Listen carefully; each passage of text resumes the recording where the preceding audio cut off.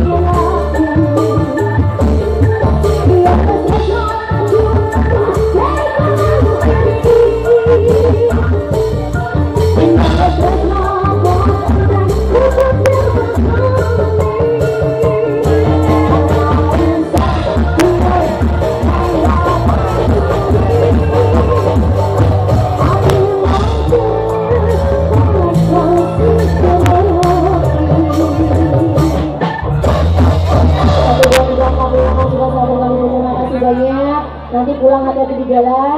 Mas Anies mau